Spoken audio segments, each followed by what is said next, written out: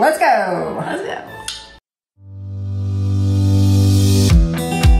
Welcome to Highway 30. I'm Amy. And I'm Sara, and we're here to help you get creative.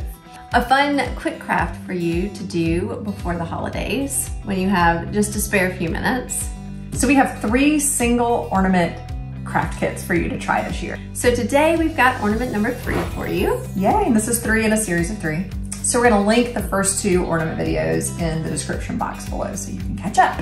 That's where you'll also find our entire Christmas ornament collection uh, in a playlist. Yeah, we've got some good ones over the years. Yeah, check that out too. For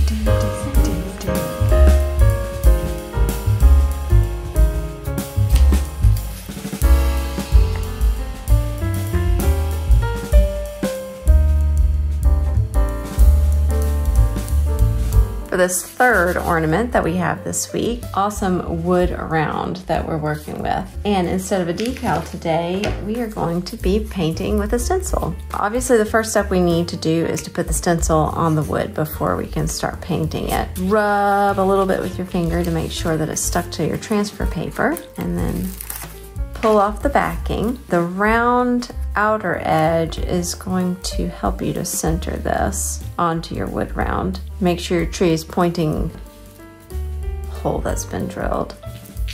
Rub it down with your finger.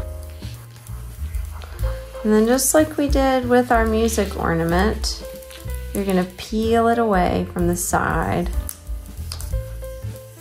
Sticks to that wood. These are sticking really well rounds.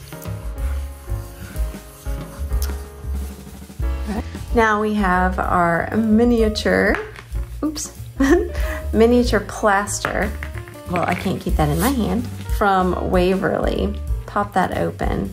There is quite a bit in here. You can choose to do this any way you'd like. You might want to just give it a light brush so you can still see the wood grain through here, or you might want to give it some full coverage. We're just gonna paint and try if any of that outer edge is exposed. Let's keep the paint off of that.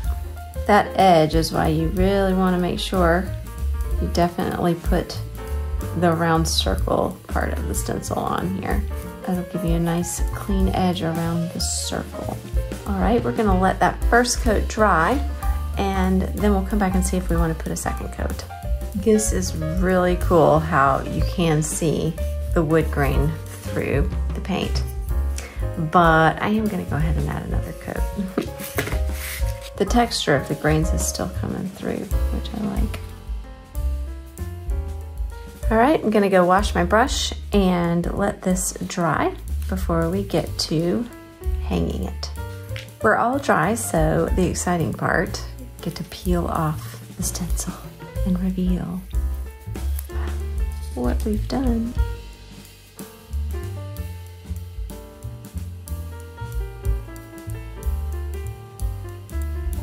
Let's create our hanger by tying our double knot at the end. So one knot, and then we're gonna do a second knot, and you wanna make it land over that first knot. So you might have to work with your thread a little bit as you tighten it to make sure that it does go over the first knot because we want to just make that knot big enough so that our bead doesn't slide off. After you get your knot, you're going to go to the other end and just kind of twist your fab your thread a little bit and send it through the bead. And just if you twist as you go, then it'll eventually pop out the other side. Now we have our hanger. In order to get the knot that you make on the right side, I'm going to, I just have to think about it like this. I'm gonna flip the project over and then that helps me remember that I'm gonna go up through the top. So I'm gonna go this way. In other words, I would lay my project on top and thread it through that way. So we're always gonna go down through the top. Same technique of twisting your thread will help you get it through that little hole. As soon as it pops through, you can pull it. Now you have your two sides. You're just gonna send your bead through the loop and pull it tight. and then your little knot is showing on the front. Oh my goodness, I love it. Let's go add it to the other two.